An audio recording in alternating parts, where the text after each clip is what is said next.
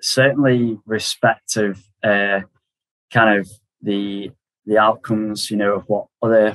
uh, partners that you work with, um, what they're trying to achieve. Um, listen, you know, and and that seems very um, sort of straightforward to mention that, but I think that actively listen can be quite a, a, an important skill when you are speaking to communities, again, other organisations, anything like that, um, because everyone articulates sort of the type of work that they do or the type of work that they want to do very differently.